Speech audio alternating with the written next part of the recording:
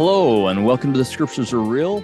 Uh, this is a little bit of a different beginning because we're going to jump into the real beginning of this second week. And for those of you who listened to last week's episode, you'll already know that I was going to do this. Uh, we took the beginning of this episode where Dr. Dan Belnap and I reviewed, especially he reviewed the first several chapters of Romans, and we stuck it on to the overview of Romans that I did for last week. But the reason Dr. Belnap was doing that was because we won't understand what's going on starting in chapter seven if we don't understand everything he was saying about the first part. So if you haven't listened to that first part, I highly, highly recommend that you go back and listen to that first part. And uh, if I were you, uh, I would review it, even if you did listen to it before you listen to the rest of this podcast. I would review uh, all of the things that Dr. Belnap went through because it leads right into what we're going to talk about this week and what I think is a really fun episode. So, with all of that being said, here comes the normal introduction and the rest of the podcast for this week. This is the podcast where we talk about elements of the scriptures that have made them become real to us because we believe that helps us draw more power out of them and we need all the help we can get. I'm your host, Kerry Muhlestein, and I have with me just a fantastic guest I'm so excited to have with us. His name is Dr. Daniel Belnap. And uh, you'll hear from him a few other times uh, during the rest of the year. So we'll have you know different phases of the introduction of Dr. Belnap, I guess. Dr. Belnap is from Sandy, Utah.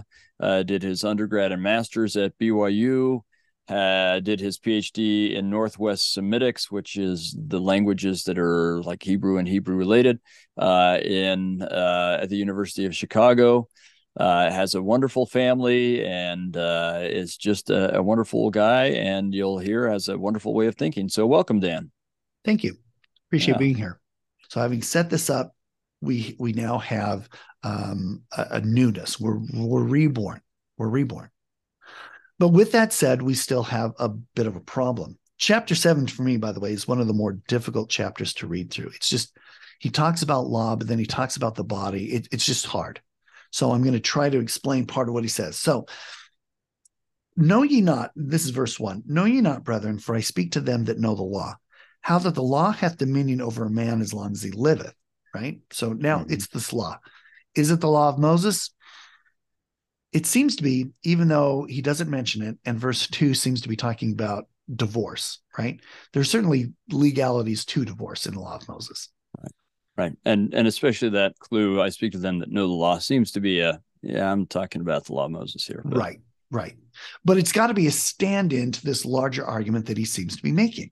Yes. So, verse 4 Wherefore, my brethren, ye are also become dead to the law by the body of Christ, that ye should be married to another, even to him who is raised from the dead, that we should bring forth fruit unto God. So, in this case, pointing out that the law of Moses was inadequate to save you, that the relationships even established in the law of Moses were inadequate, we now have a new relationship with Christ. Just as he's talked about birth, now he talks about marriage, right? Right. So and, and maybe I can even insert here. I, I think he is. This is one of the clues. He's talking specifically about the law of Moses and, and what he does in two and three. I think this is his argument that they don't need to worry about the law of Moses anymore, because he's saying, look, if a woman is if through marriage she's bound to her husband and as long as he's dead if she's with another man or i mean as long as he's alive and she's with then she's with another man she's adulterating right right but if if her husband dies then she can be married to someone else. It's not adultery. And then he's in essence saying that's what's happened with the law. The law of Moses is over, so we're not beholden to it. So we are free to do this a different way. Yeah, and and I would think I think it even develops off of uh, chapter six with it died. You died. The old man yeah. died. The old man died. The old the law old died, died, Everything died. The old right? covenant died. However you want to say it. Exactly. It the if you got baptized, this died. That's the symbolism here. You right. died. The old man died. You're new, right? And this mm-hmm. can allow you to have a new relationship with God. In this case, he's going to describe it as a marriage one, right? In right. the next chapter, he's going to talk about it in terms of children. In the in the next chapter after that, he's going to talk about what it means to be Israel. So he just keeps giving you example after example of a new relationship that can be created through Christ. Right. And that relationship is not through the law of Moses, is what it seems to me he's trying right. to say. Right. Because because it's dead. Yeah, that's right? exactly right. And, and and not just that the law is dead, you died in relation to the law. You're yes. a new creature. Right. Right. Perfect. Okay, sorry, keep going. No, you're you, so so. Therefore, we we who have become dead to the law by the body of Christ. Again, it it's just it's to me kind of beautiful imagery, and because he's mixing metaphors. But mm-hmm. the body of Christ was represented in baptism, who died. Mm-hmm. We are now dead to the law through the body of Christ. Mm-hmm. Right that you should be married to another, even to him who's raised from the dead. Okay. Now he goes on to point out about now that we've been changed, we've been delivered. We we have the spirit now that can testify to these things. But that doesn't mean we aren't going to make mistakes or make errors, right? In fact, right. he's going to talk about how the his body. Now he's going to switch to a physical body. My body, I I want to do good, but I'm yet carnal, right? verse 14 for we know that the law is spiritual but i'm carnal soul to understand for that which i do i allow not for what i would that i do not but what i hate that do i right in other right. words i've been changed i know better. I have a i have a greater desire to, to be better. But man i keep making mistakes. Yeah. i keep sinning. I keep doing this. And he's like and i don't it's frustrating. It's yeah. very frustrating.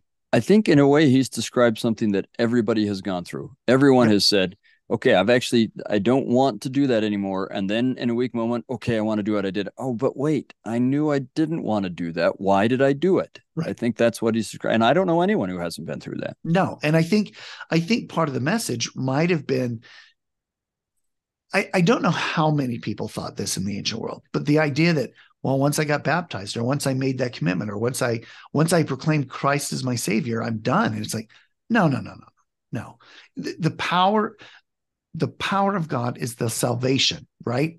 The gospel of jesus christ is the power of god unto salvation. We don't ever get past a point where we don't need it. Right. Right? So even though the old man of sin the law has died and we have now committed ourselves to being a new creature we still need it. We still need Christ. We we still need the Spirit. We this this transformation that we're undertaking and are going through isn't complete just because we made one good choice, right? Even if we even if that choice was to partake of an ordinance that is necessary for salvation, that doesn't mean we're done. And again, Christ taught that, right? That that baptism just isn't enough to get you to where you need to be and and to become what you want to be. It's a it's a process. And so I look at chapter seven in terms of the overall thesis and going, yeah, but once you get baptized, you're still not done. Right. Now we got to figure out how to get that. I know what I want to be, I know what I can be, and get it aligned with what I'm actually doing. Because we all fall short. Yeah. Yeah. That's exactly right. Right. So, verse 22 I delight in the law of God after the inward man and and now see to me this inward man is inc- this is another way for him to tie back to material that he's mentioned before. Remember what it was to be a jew right? Yeah. it was the inward. So now we have an inward man that he's talking about. There's so many places where he keeps tying this back to this to stuff that he's already established. And that's just good essay writing right? That's good research. Yeah, and I and I think he's got an oblique reference almost throughout to the Jeremiah and and secondarily Ezekiel reference that it, God will establish a new covenant, and then the law will be written in their hearts, or Ezekiel in the inward parts. You know, this this idea.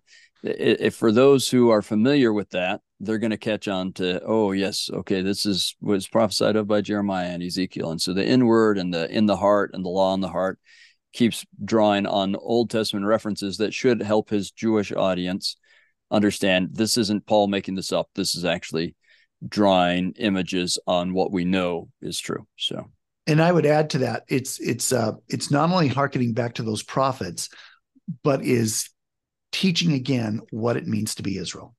Yes.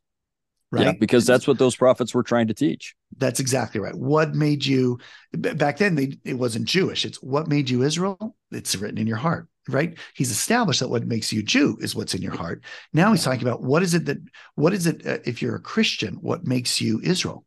It's what's in your heart.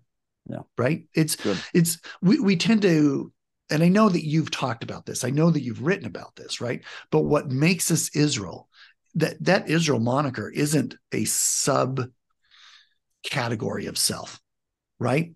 It is it's one of the primary ones. Yes. Right? Jew, Gentile is below Israel. Both Jew and Gentile can be Israel from Paul's right. perspective. Right. So if we're looking at the Old Testament and if, he, and if he's alluding to these things, and I think you're right, he's this law written in your heart, these tablets of the heart, or this inward man, this is stuff that would harken back to these prophets who defined what it means to be Israel. And they kept defining it to your covenant relationship with God. Yeah, and they were doing the same thing. They were saying, "Yeah, we're not, we're blowing it right now, but right. God's going to get us to not blow it at some point." That's exactly right. Yeah. Right. So, so anyway, I I think that's set up, and now, so now he introduces a new law to us in verse twenty three of chapter seven.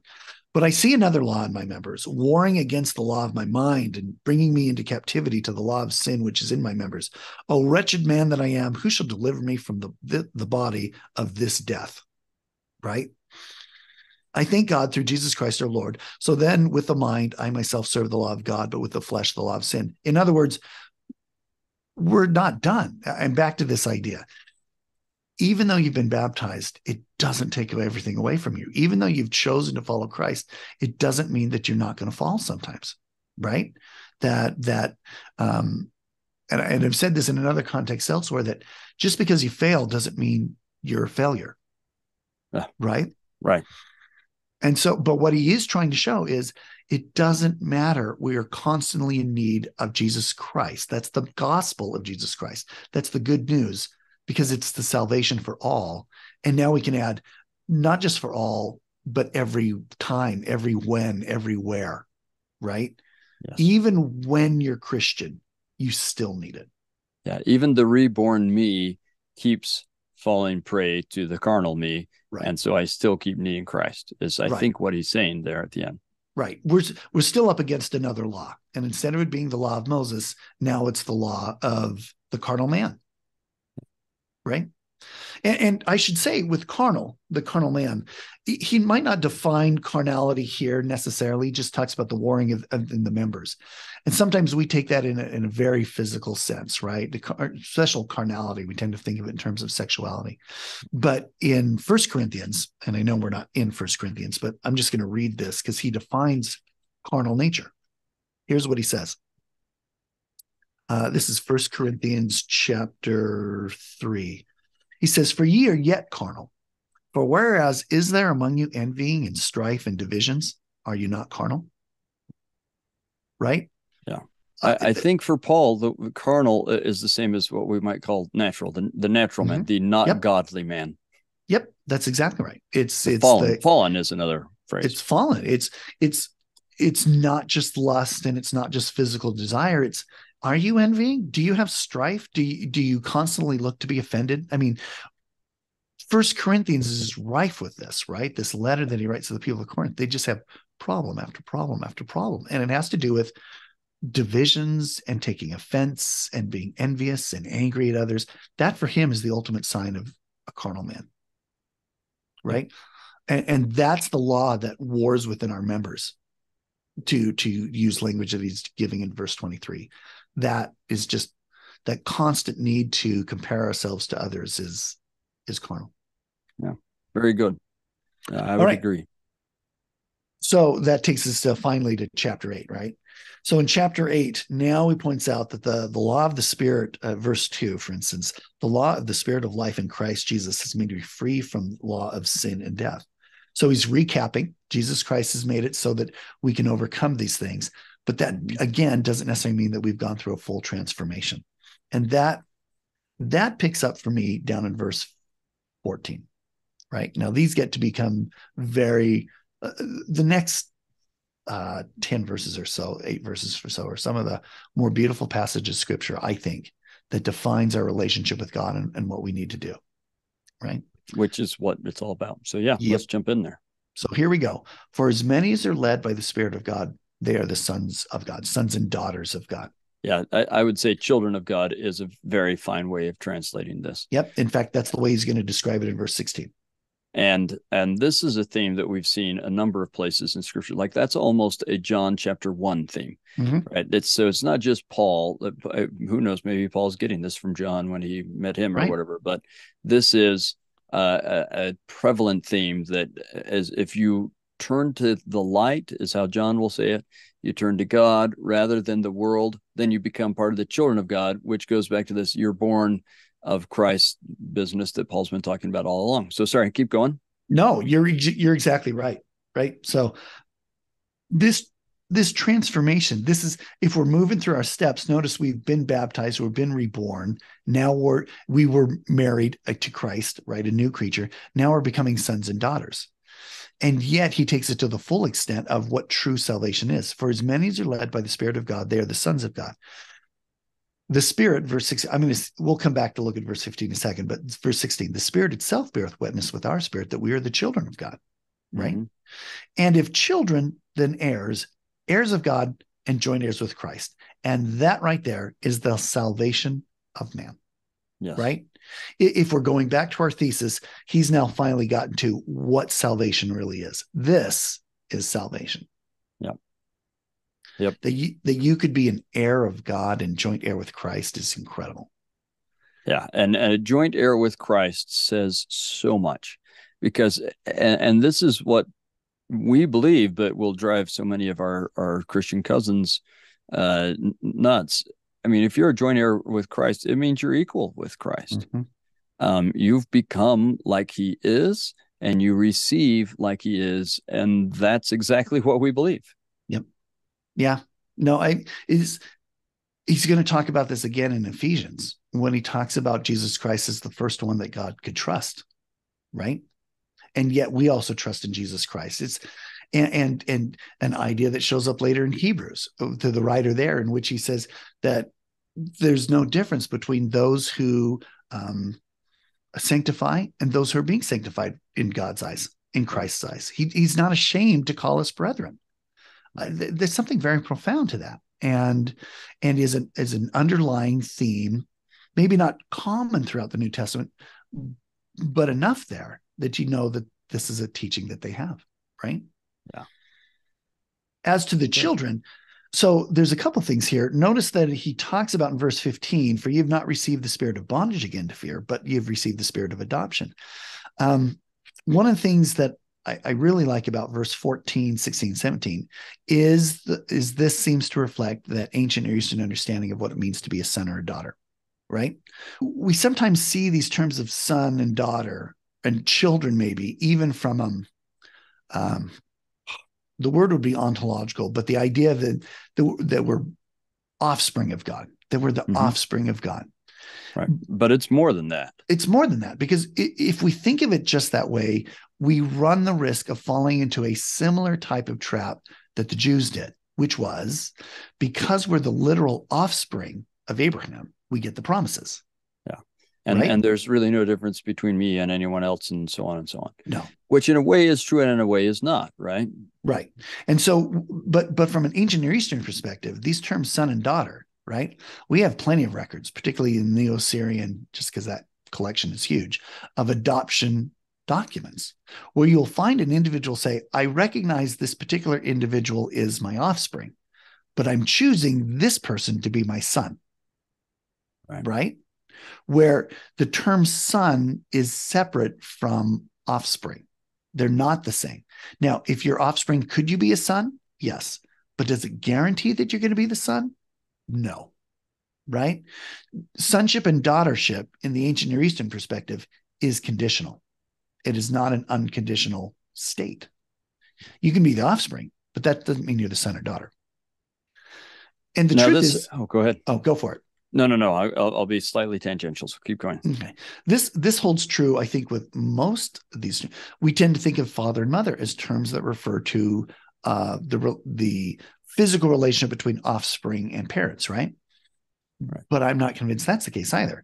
In Abraham chapter one, you find that he wants the blessings of the fathers and the right to administer the same, right?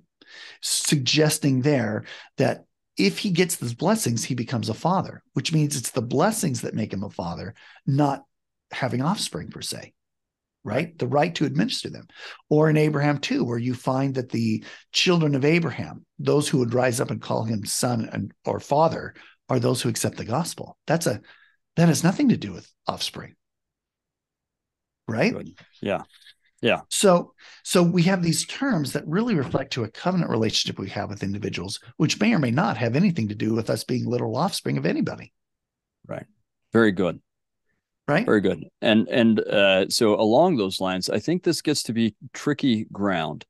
Um, I, uh, fully understand the use of the term adoption here, and uh, and the context you're giving everything else, I, I agree with, and I'm also aware that for many people this is a very sensitive issue, uh, in, including, and if you would rather, we can cut this out, but including that I know that you're uh, adopted, although mm-hmm. I I've seen you have a, a, closer relationship with your mother than most people do, um, and and so uh, I think that this phrase adopted is important, but I think sometimes it negates in our mind the reality of being born by Christ, the mm-hmm. reality mm-hmm. of the fact that when you are changed, when you are a new being, that really was a being created by Christ.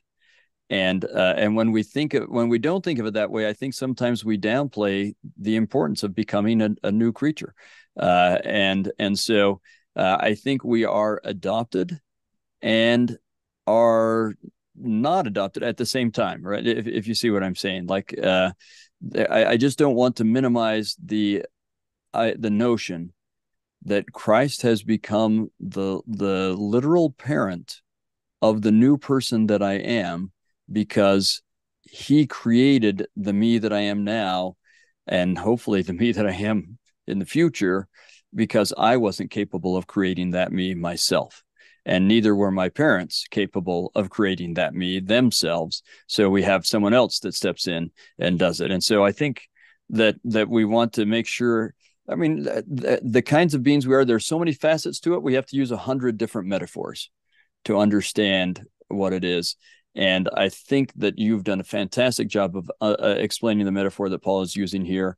Uh, and yet, I think that it only partially answers to the metaphor he was using earlier, right? So you, you have uh, uh, all sorts of stuff that Paul's trying to do, uh, and we just have to kind of try and muddle our way through it. Sure, and and and I get that. I the the the one thing I would say to that is is um what Paul seems to be addressing here is, is while you may have been changed by Christ, that mm-hmm. does not guarantee anything. Right. Right. Right. So so if you if you look down in verse 17, this is where what it means to be son and daughter in that conditional element. So you and I might have been we were baptized, we got changed, but that mm-hmm. doesn't guarantee anything. Right. Right. That doesn't guarantee an inheritance. Right. Right. I and, agree. And to that point, that's where I think verse 14 is really helpful. For as many as are led by the Spirit of God are the sons and daughters of God. Right. Right. You can have the Spirit but, but if we're not following it and we're not being led by it, if we don't actively seek for it, you might have been baptized and you might have received the gift of the Holy Ghost, but that doesn't mean you're using the gift of the Holy Ghost. That doesn't mean That's you're right. right. So you still can be changed. I believe that to your point. But if you aren't doing something about it, then it he's not going to guarantee you exaltation. Right. Well, and that change isn't necessarily permanent, right? We if right. we go back to to to turning away from Christ and following the world, then that change is undone and and then Christ is no longer the father of that that new well, you because there is no new you. And isn't that what President Nelson meant when he said you have to nourish your testimony? You yes. have to nourish it. You can lose it. You can lose this. Yes. Right? That's Alma exactly talks right. about it in the sense of if your if your heart is soft, you increase in knowledge. But if it hardens, you lose the knowledge even when it is given to you, which I always find a crazy, a crazy yeah. paradox. But and yet I've seen it happen. Yeah. Yeah. Right. You can still go and get all of these things, but you will lose the knowledge that you had, even as new knowledge is given to you, which is crazy. Yep. And I, as you're talking about Alma, I think he also sums it up when he says, "You've if you've felt to sing the song of redeeming love, or in other words, if you've been mm-hmm. changed, can you feel so now? Are you still changed? Right. Are, yeah. are you still coming to Christ so that He can continue to change you? Change is a continual process. Do, do you anyway. see with that? Do you see with that eye of faith? Can you see? Yeah. I mean, what are you doing? Because if you think this is, you think everything got fixed the minute you made that choice. No, no, no. You're just a new creature, right? Yeah. Paul will say yeah. the same thing to the people of Corinth. He's like, I came and fed you milk. You are yet unable to handle me. That's not a good thing. Yeah. So, and anyway, so to all of those points, what he's pointing out is, is Christ made it possible for you and I to become sons and daughters of God. And if that's true, then we can become heirs of God, join heirs with Christ. That's our salvation. And but then he does something that I find it's about the only place where this gets mentioned, but it's a brief glimpse into an understanding of Paul's. And and and honestly, this is the this is one of the few places in this book where I think he just takes a small tangent for just a second hmm. and then comes back to it. In that he demonstrates what I call the cosmic scope of the atonement of Jesus Christ. If the thesis was that the gospel of Jesus Christ is the power of salvation unto all, for this one moment, when he says, this is for one place where he's like, by all, let me expand what I mean by all. Because if sure. you look down at verse 19, for the earnest expectation of the creature waiteth for the manifestation of the sons of God, i.e., there's something that's waiting for you and I to become exalted beings, or the exaltation of God's children, those who now are his children. By the way, and that concept of children, that's that's the parable of the prodigal son, a son who loses the rights to inheritance but gets it back. Or when Mormon writes about charity, this is you needed so that you might become the sons and daughters of God, right? So in this case, for the earnest expectation of the creature waiteth for this, for you and I to be, receive our full inheritance. Now, the footnote there for creature is the Greek word. It, well, it's the translation of the Greek word, right? But the footnote there for creature under verse 19 is all matter. It's the cosmos. It's all matter in the universe. What? Wow. So, yeah. Right. And then he defines, and, and then we have earnest expectation, which can mean that there's a hope. There's a, the universe has a hope. Now I know we're personifying the universe and and and that gets tricky, but what he's pointing out here is there's some implications to the atonement of Jesus Christ. There's there's some implications to what Christ did. If you and I can be transformed and receive a full inheritance of God, which is exaltation, there's some huge implications to that. So he goes on, for the creature, which now we can say is all the material universe, was made subject to vanity, not willingly, but by reason of him who has subjected the same to hope. Now I'm now I need to preface what I'm about to say in saying I'm not saying that Paul is a physicist or knows the law the, the laws of nature.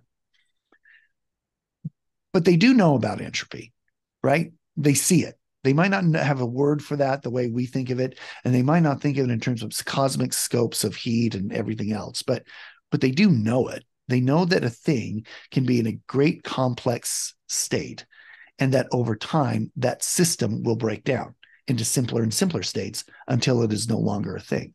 They see that in a body that dies. Right. Right? Right. And in all sorts of things. And it's possible that paul's seen this in some type of vision. For the creature was made subject to vanity. Vanity here means emptiness nothing. Right? From mm-hmm. a modern physics standpoint right now there's a huge debate as to what's going to happen to this universe right? The material of this universe and the consensus right now is that if left unchecked, and we don't have any reason thinking otherwise, it will end up in a state called heat death, right? Now, heat death is the ultimate state of entropy in that there's no light, there's no movement, there's no heat. Because while you st- you didn't lose energy, it's no longer kinetic energy. You can't use it. Hmm. It's all potential. So there, and there's nothing to spark it. And therefore, this can lead to a very nihilistic perspective on things. Right. right? What's the point if it's all just going to break down and die in the end? Everything, everything, not just my body, this earth, this sun, this solar system, this galaxy, this whole thing collapses into heat death. The creature was made subject to that. But the creature itself, verse 21, also should be delivered from the bondage of corruption. And that bondage of corruption to me is entropy, death. This is the way it's been defined by Paul elsewhere. It's the way it's defined in the Book of Mormon by Alma. Corruption here doesn't mean wickedness per se, but no. it means anything that decays. He'll he'll use it that way a number of times in this epistle, uh, talking about death as corruption and incorruption being resurrection. Yep, that's exactly right. It just simply means that which is imperfect and decays, and that's entropy. Right? Mm-hmm. And by virtue of talking about the mat- material universe, I'm really using the word entropy here. This is across the board. This isn't just yours in my sinful state. We're we are egocentric creatures, and I'm not saying that's a bad thing. And we tend to look at the atonement of Christ egocentrically, right? I need it to help me, which I get. Hmm. But every moment, every now and then, there's a brief glimpse to a cosmic scale to this. And this is Paul's, right? I'm I every time I read this, I'm stunned by the comprehensive total effect the atonement of Christ has on everything. When we read Doctrine and Covenants 88 and we read that he's in all things and through all things and he comprehendeth all things because he's gone below all things, right? That he that this light fills the immensity of space, that's a glimpse of a cosmic Christ. This is one here. And this is one where it's your salvation is proof to the universe that it too will experience that same deliverance. Or to put another way for me, these verses suggest that the second law of thermodynamics is just not in effect anymore. It is for you and I now in time and space. Yeah, yeah but God will overcome it. I mean, if you end no up with a if you end up with a resurrected being, if there's such thing as a resurrected being, the second law of thermodynamics is no longer in effect. Yep. And that's, the that's got to be true. That and that's the atonement of Christ. And so, yeah. now Paul's going to get right back into his thesis, but for just these brief verses. Yeah. Right? I just find it I just find it beautiful. Yep. It's good stuff.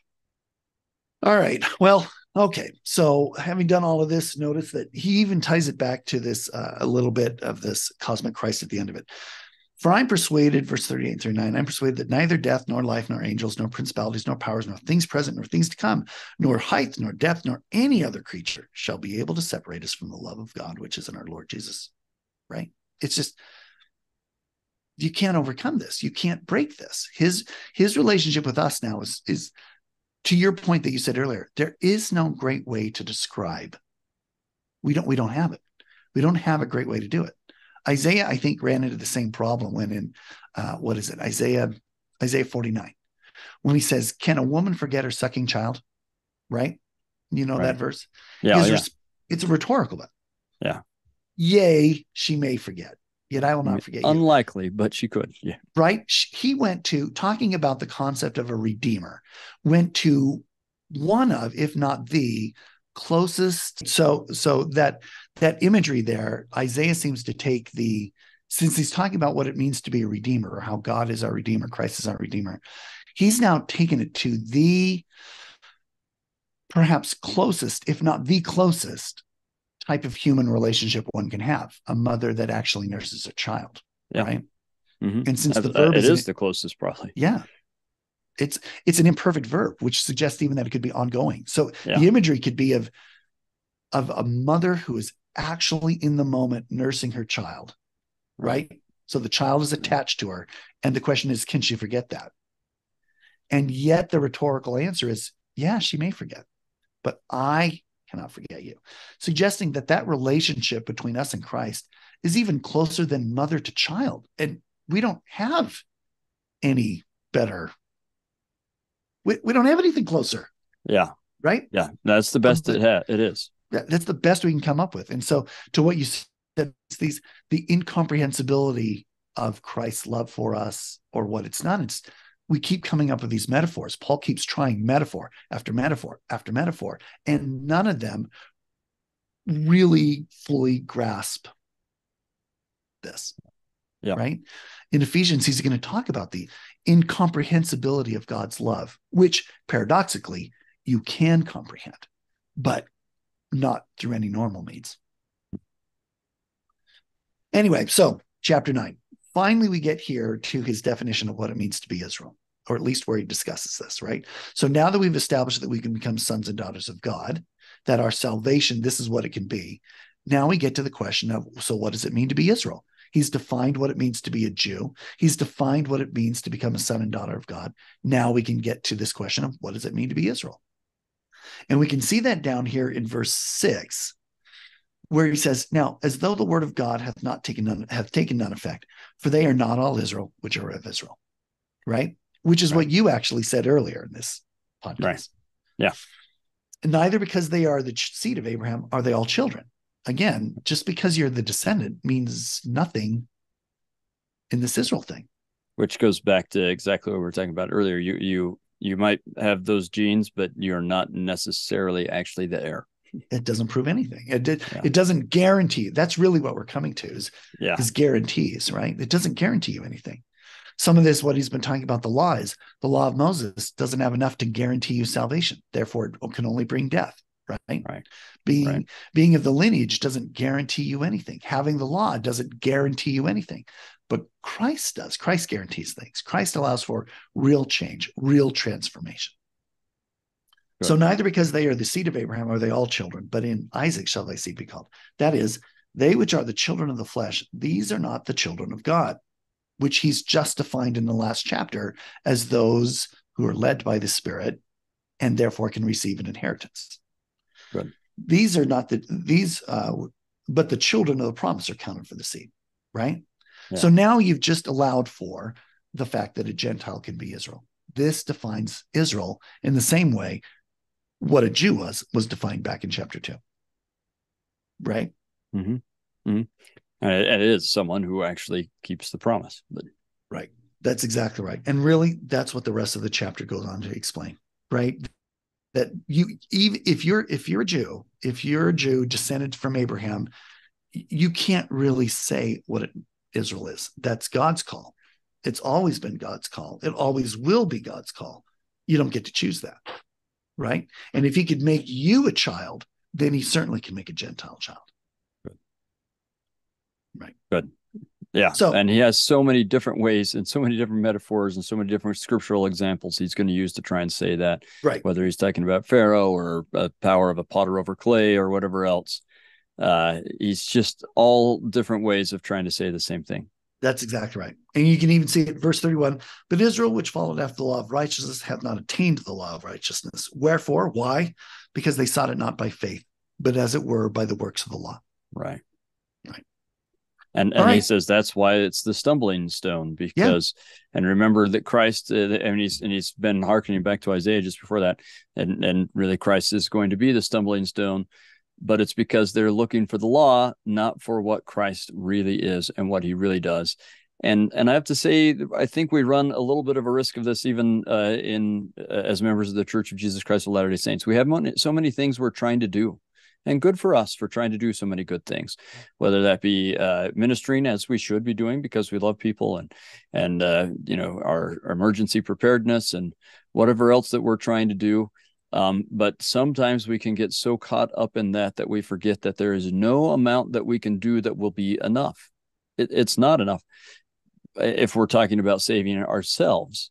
What in the end is important is that Christ is going to save us. And so then, whatever we're doing, if we're really trying, if it's with our heart, is enough, right? And that's the that's the ironic uh, twist there is that Nothing we could do can be enough, but with Christ, anything is enough as long as our heart is in it.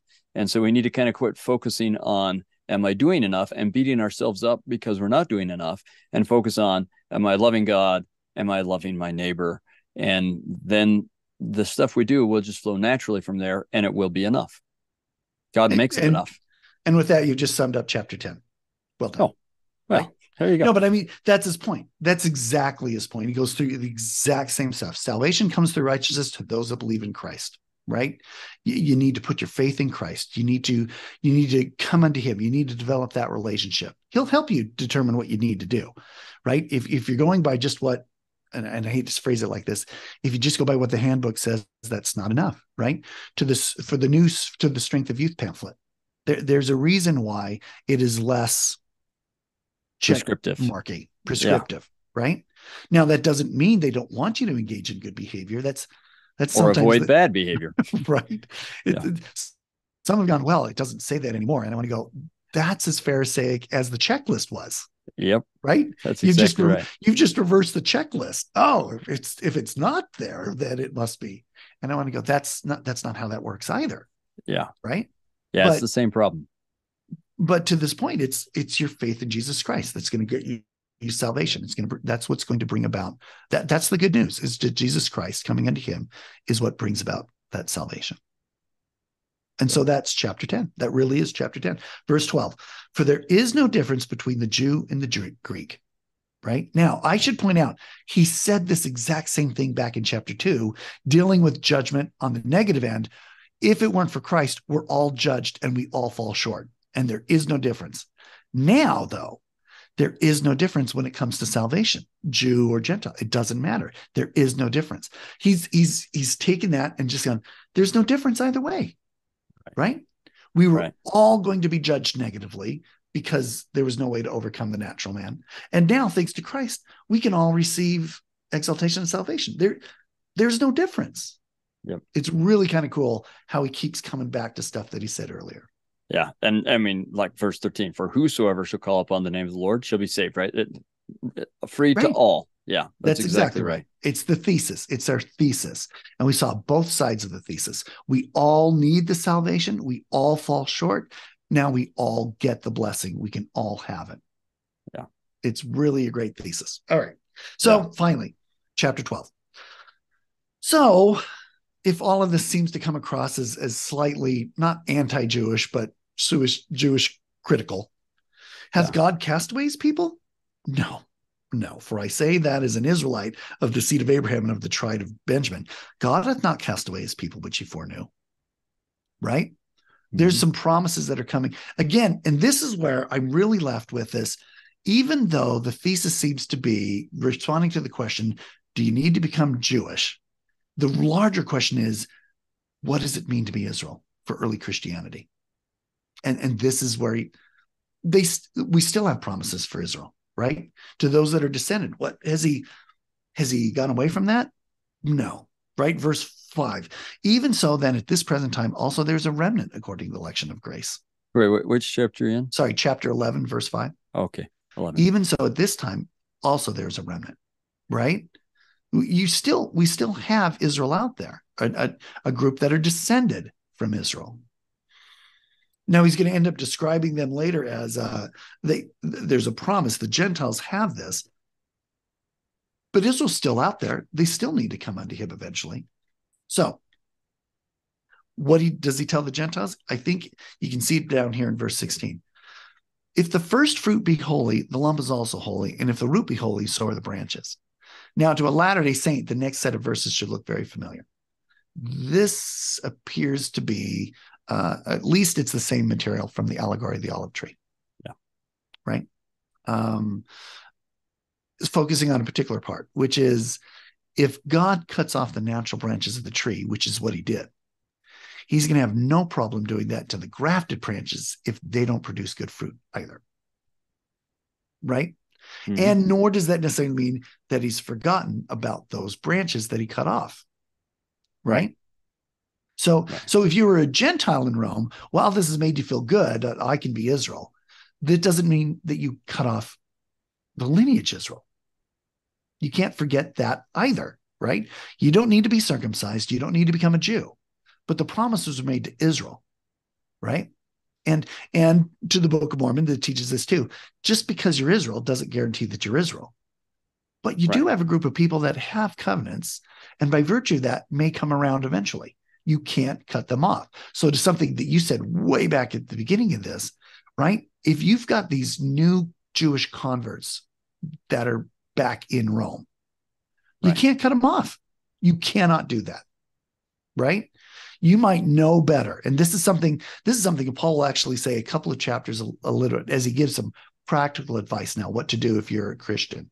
If you know better, right? And he's going to go to eating of meat. Clearly, I think some of the Jewish converts are going to react to the eating of maybe meat, maybe pork, or whatever it is. Yeah. Right. He's going to say, as a Gentile, you might know better than this. As a, as a Christian, you might know better than this. But good heavens, if you know that it offends, why? Why would you do it? Yeah. Why would you do it deliberately to offend someone that's weaker? And offend in this case, because he's used it in the last chapter, uh, the, the word offend means to trip, it means to stumble, cause to fall. Why would you create division that trips people up deliberately when you know better? Right? Good. And so so we'll get to the practical in just a second, but but this is what he has in chapter 11. This is his warning to the Gentiles. Just because he got you got grafted into the tree doesn't guarantee that God's going to leave you there forever. If he cut off the natural branches, he's not going to have a problem doing it to the grafted in branches either. Right? So mm-hmm. this isn't where you as a Gentile get to go, oh, well, yeah, these these warnings, these admonitions, they're not for me. How could they be for me? I mean, that's right. Right. No, and and and it's uh it's both, I think, a warning to not just think you're fine and a warning to not be isolationist, but to integrate and bring everyone together. That's exactly right. That's exactly right. And that's and that's where we get to really almost the end of this the, the, the of the essay. If you look at the end of chapter 11, notice that he kind of ends with a, a plea, a prayer, even with an mm-hmm. amen at the end of it, right? Mm-hmm. For God hath concluded them all in unbelief, this verse 32, that he might have mercy. Oh, the depth of the riches of the, both of the wisdom and knowledge of God. How unsearchable are his judgments and his ways past finding out. For who hath known the mind of the Lord, or who hath been his counselor, or hath first given to him, and it shall be recompensed unto him again? For of him and through him and to him are all things, to whom be glory forever. So we're winding down the essay, and all things are given to Christ. All things are God's right? If you're a Jew, you cannot make judgments based, on the Gentile convert. If you're a Gentile convert, don't make judgments on the Jewish converts, right? So 12. And this is where this is where I think the essay really ends with this plea. In light of the thesis, having demonstrated the thesis, having gotten us all the way through this thesis, he now has a request. I beseech you, therefore, brethren, by the mercies of God, that you present your bodies a living sacrifice, holy, acceptable unto God, which is your reasonable service, and be conformed, be not conformed to this world, but be transformed by the renewing of your mind, that you prove what is what is that good and acceptable and perfect will of God. In my mind, now this is Dan Belnap speaking, but what he's done is he's really defined what an Israelite does And what they do is they sacrifice. Mm. Right. This same principle, I think, is going to be taught in Hebrews when he says, Why did God call priests in the first place? So that they might offer gifts and sacrifice unto God. And they need to find that further. The question would be, What exactly is sacrifice then? Right. Now, the word, because again, this is where if the thesis is the salvation to all, what he's also had as a secondary thesis is what does it mean to be Israel? Who gets to be Israel? And what do you do when you are? This is where I think if you're if you're an Israelite, you offer sacrifice. That's what you do. Yeah. And here he's specific about what that sacrifice should be. Right. And in sacrifice, I've mentioned I mentioned this to my students. The word sacrifice to me is a really fascinating word. We define it as loss. We use it to describe mm-hmm. loss. I sacrificed my time. I sacrificed whatever, right? And, and by that we mean I gave up something. But the word itself is a Latin word and it means to change. It, the word literally means to make holy. Yeah. That's not a loss. That's a change. That's a transformation. In fact, I, I once heard a definition for sacrifice that I liked, and it said, uh, "Sacrifice is to give up something you like to make it something better." To make it, and that would be the key: is to make it. If you just go by the give up, which is what we often do, so right. so I've heard it said before. Well, we never truly can sacrifice anything to God because whatever we give up, He just gives back to us better. And, and I've always thought that's true if that's what sacrifice meant. It just doesn't mean that. When you look at the animal sacrificed under the law of Moses, they didn't lose the utility of that animal. They didn't no, lose they the animal. It. They ate yeah. it or they changed it. They changed the way it's going to be used. Whereas before yeah. I would have used it for these things, now I'm going to use it to cleanse sin, right? Right. Well, that's exactly right. So they, they still are eating it, but it, it means something different right as they eat it. Yeah. Right. If if you pay tithing, tithing, you didn't lose the money. You changed the way you're using it. Yeah. Right. Yeah. Now you're using it at church. Yeah. Right. You're using yeah. it for whatever. I look at the one where we talk about a sacrifice of time and I go, you didn't lose, eh, you didn't go, if you go minister to someone and you sacrifice that time, and you say that, you didn't lose two hours. You didn't blank out and lose two hours off your life. You changed right. the way you use those two hours. Yeah. And and it's an act of agency. I can't make you sacrifice. Right? Mm-hmm. I can force you to give up things, but I can't make you change anything. That's exactly right. And it's you're not sacrificing if it's taken from you. Right. But if it's taken from you and you are willingly giving it at the same time, then it's a sacrifice. Right. The sacrifice of Jesus Christ was a complete and total transformation that made it possible for you and I to transform. Right. He didn't lose anything. He transformed into a being that could provide something for all of us. Good. And that's really captured in verses one and two. Yep. And and and both the totality of this, because he talks about presenting your bodies, but also not conforming the world, but transformed by renewing your mind. So it's it's a heart and soul kind of a thing, mm-hmm. right? Everything. Uh, and uh, and it, it includes not conforming to the world. That's the yep. that's that's what you're giving up is the worldly things to instead have it have your will turned into godly things. So it's still your will, but it's no longer desiring worldly, it's desiring godly. And this can tie back to that discussion of the law that he talked about, right? The, there's the law of Christ, there's the law of the body, he says, that we now war against. Well, how do you do it? You change it, you transform it. Yeah. You, you align your natural, you're align your body with the mind, with the spirit that changes all things. Right? Mm-hmm. I, I just th- so if the thesis has been developed, he now gets to the part where he, an exhortation from an apostle. This is what I'd like you to do in light of my thesis. This is what you need to do in Rome. This is the your problem in in the congregation is that you've divided into groups, as far as I can tell and yeah. you divided up based on well, blah blah blah am i jewish? Am i gentile? Whatever. You didn't yeah. fully grasp that we're all fallen. We all are. It just it doesn't matter.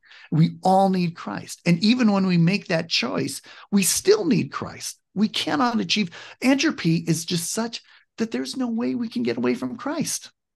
We need him. And luckily he loves us. Yeah. Right? So Go make yourself a living sacrifice. Go trans choose to be transformed to become something more than what you are. Christ makes it possible for you and I to become something more. He's put everything in place for us to do that. I, I look at it this way: I go, if we if if we think of it as a if exaltation was a problem to solve, he fixed 99% of the problem. But that 1% requires us to choose it. And yeah. if we don't choose it, no transformation can be made right? Right.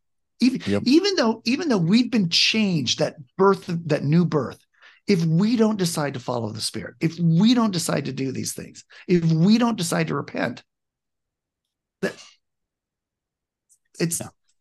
he can't make us sacrifice. We have to choose to do that. That's good. And that's that's the book. Chapters 12, 13, 14, 15 it all ends up being practical instruction now based on this particular on this exhortation. Now what do i want you to do? I want you to be nice to each other. I want you to love yeah. one another. I want you to want you to be sincere with one another. I want you to take care of one another. Yeah. Think, be one body. Think of each other as one rather than as different and so on. Yep. Yeah. Yeah. I mean, yep. and you can go straight through it and see where Christ taught all of these things straight out of the Gospels, whether it is uh, whether it is verse 12, rejoicing in hope, patient in tribulation, right? Take care of the sick, the needy, afflicted. That's all in chapter 12. Chapter 13, just see it in there. Love one another. Don't, if someone doesn't pay you back right away, don't freak out about it, right? That seems to be a, a thing. Verse, I mean, just the chapter heading, it sums it up well. Avoid quarreling. Don't make unrighteous decisions. Or, or, or like verse 10 love worketh no ill to his neighbor yeah. love therefore or therefore love is fulfilling of the law right? Which is what we keep saying love god love each other. That takes care of it. Anyway it's good. Yeah. And so and so that's all of it. Chapter 15 how will you know? The spirit can be poured out upon you all and and there you go. What does he say by the end of it? Now we now we get to the actual letter part of it. He's like no that guys that's my message. That's my that's my essay. I'm hoping to get to spain. If i get to spain i'd love to see you guys on the way there. Right? Yeah, yeah. here's you the guys letter. are great and so on. Yeah. Right. Here's the people I'm going to send with the letter. When they get there, receive them, treat them well. Yeah. And that's the end of Romans. Yeah. Well, good. Very good, Dan. I've been inspired uh, both to want to be transformed and uh, it, to remind myself how much I need God and uh, how much we all need God together and and how much we need to set aside our differences and come to God together uh, and have that covenant in our hearts. So thank you for inspiring me, Dan. Well, it's been fun. I, I like I said, I love this letter. I really do. And I know I didn't do it justice. There's plenty of people that know it a whole lot better than me, but but it well, is we don't have to time see. to do it justice either. But no. But it's fun to see how he takes this idea and develops it all the way through, leaving a very beautiful, powerful, uplifting message. We we didn't even get into really the practical advice, but boy is it worth reading. Chapters 12 through 15. It just has but but he's going to repeat it. He's going to say the same stuff in First Corinthians Ephesians. So yeah. it's good stuff. Well, thank you. And we hope it's been helpful for our audience and that uh, if it has been, that they share it with some other folks and uh, that we just go about lifting each other up. So uh, thanks to Dan, thanks to the audience and everyone who helps make this possible. And we'll see you next week. Thanks for the opportunity.